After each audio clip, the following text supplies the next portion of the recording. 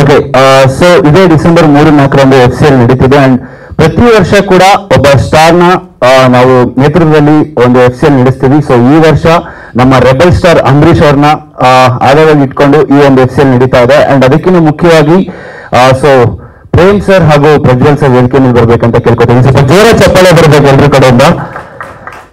So main ಉದ್ದೇಶ trophy ಲಾಂಚ್ನ ಮಾಡ್ತಾ ಇದ್ದೀವಿ.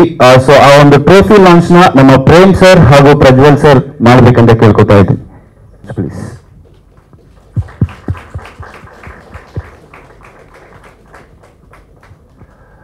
Prajwal sir F C L ಕುರಿತಾಗಿ ಒಂದೆರಡು ಮಾತಾಡ್ಬೇಕಂತ ಕೇಳ್ಕೊತಾ ಇದ್ದೀನಿ.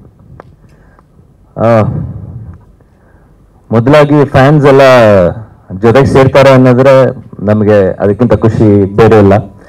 ಆ ಒಂದು ಆಲೋಚನೆನ ಇಟ್ಕೊಂಡು ಎಫ್ ಸಿ ಎಲ್ ಶುರು ಮಾಡಿದ್ರು ಬರುತ್ತೆ. ಈಗ ಒಂಬತ್ತನೇ ಸೀಸನ್ ಅಲ್ಲಿದ್ದಾರೆ ಅಂದ್ರೆ ಒಂಬತ್ತು ಸೀಸನ್ ಆಗ್ಬೇಕಂದ್ರೆ ಅದು ಎಷ್ಟು ಚೆನ್ನಾಗಿ, ಎಷ್ಟು ಸಕ್ಸಸ್ಫುಲ್ ಆಗಿ ನಡ್ಕೊಂಡ್ ಬರ್ತಿದೆ ಅನ್ನೋದು ಅದರಲ್ಲೇ ಗೊತ್ತಾಗುತ್ತೆ.